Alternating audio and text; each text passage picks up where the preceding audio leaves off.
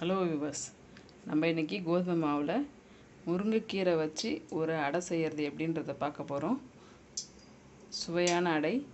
ஓகேங்களா? ரெண்டு கப்பு முரு கோதுமை மாவு ஒரு கப்பு அளவு முருங்கைக்கீரை ஒரு பச்சை மிளகாய் ரெண்டு வெங்காயம் பொடியாக நறுக்கியது. தேவையான அளவு உப்பு ஒரு அரை க அரை டீஸ்பூன் மிளகாத்தூள் இது சோம்பு. ஒரு அரை ஸ்பூன் அளவுக்கு சோம்பு. இப்போ நம்ம எடுத்து வச்சிருக்க பொருட்கள் எல்லாம் ஒவ்வொன்றா எடுத்து அந்த மாவில் போட்டு கிண்டிக்கலாம். கிண்டினதுக்கப்புறம்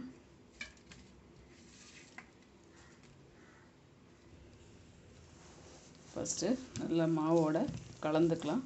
கலந்துக்கிட்டதுக்கு அப்புறமேட்டு நம்ம தண்ணியை கொஞ்சம் கொஞ்சமாக ஊற்றி மாவை பிசைஞ்சிக்கணும். அப்போ தான் அந்த மிக்சிங் வந்து நல்லாயிருக்கும் இப்போ கரெக்டாக இருக்குது நம்மளுக்கு போட்டிருக்க இன்க்ரீடியன்ஸ் எல்லாமே. அந்த மாவில் ஊற்றி பிசைய போகிறோம் நான் பிசைஞ்சு முடிச்சுட்டு உங்களுக்கு எப்படி இருக்குன்னு காட்டுறேன்.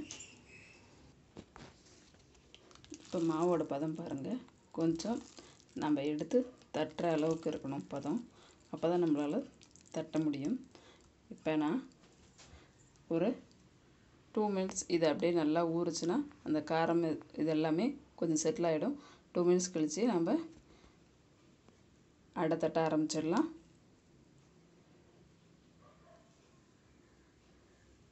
டூ மினிட்ஸ் ஆகிடுச்சு நம்ம அடையை தட்ட ஆரம்பிச்சிடலாம்.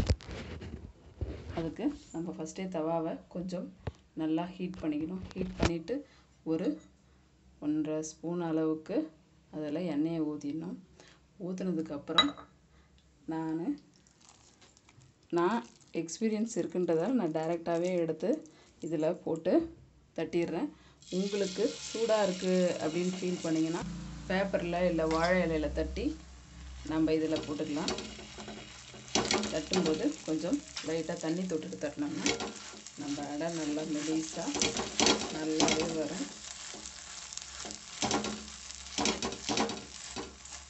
நல்லா இந்த மாதிரி ஸ்ப்ரெட் பண்ணி விட்டுட்டு வெயிட் பண்ணலாம். நம்ம தீயை கொஞ்சம் பாயில் ஆனதுக்கப்புறம் தீயை கொஞ்சம் ஸ்லோ பண்ணிக்கலாம். அப்போ தான் நல்லா வேகும். இதில் மாவு பிசைஞ்சு வைக்கும்போதே நம்ம உப்பு காரம் எல்லாம் கரெக்டாக இருக்கான்னு செக் பண்ணிக்கணும். இதுக்கு மேலே கொஞ்சம் வெந்ததுக்கப்புறம் கொஞ்சம் எண்ணெயை விட்டுட்டு அதுக்கப்புறம் நம்ம திருப்பினோம்னா இன்னுமே நல்லாயிருக்கும் இது. எந்த அளவுக்கு ரோஸ்ட் ஆகுதோ நம்ம அடை அந்த அளவுக்கு அந்த கீரை ஆனியன் எல்லாமே நல்லா வெந்து சூப்பராக இருக்கும். இப்போ வெந்துருச்சு நான் திருப்பி போட்டிருக்கேன். இது பாருங்கள் இந்த அளவுக்கு தான் ரோஸ்ட் ஆகிருக்கு ஆனால் இன்னமும் அது ரோஸ்ட் ஆகணும். கீரையோட அந்த இதெல்லாமே நல்லா இருக்குது பாருங்கள் ரொம்பவே சத்தான ஒரு டிஷ் இது.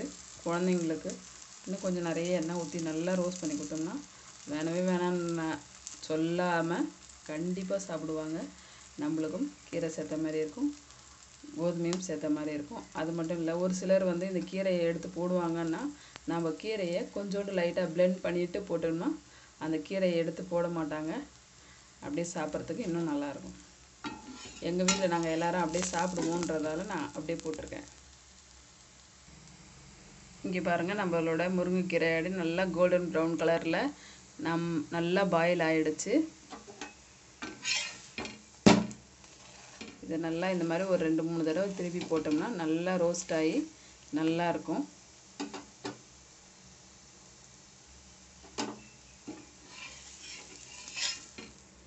நம்ம பெரியவங்க சாப்பிடும்போது எண்ணெயை கம்மி பண்ணிக்கலாம். குழந்தைங்க சாப்பிடும்போது எண்ணெய் கொஞ்சம் நல்லா ஊற்றி நல்லா ரோஸ்ட் பண்ணோம்னா இதோட டேஸ்ட் வந்து பசங்க வேணான்னு சொல்லாமல் சாப்பிடுவாங்க.